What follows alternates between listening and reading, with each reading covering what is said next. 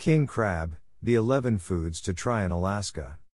The fishing season for king crab is short and dangerous, as television shows like Discovery Channel's The Deadliest Catch can confirm. While crab can be prepared in many different ways, from cakes to mashes to bisques to rolls to casseroles, dipping legs in garlic butter with a squeeze of lemon is a classic way to go. Visit the Bridge Seafood Restaurant in Anchorage or the Alaska Fish House in Ketchikan.